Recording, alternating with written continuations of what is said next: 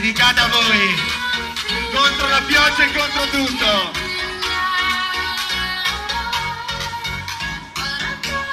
Noi non ci fermiamo.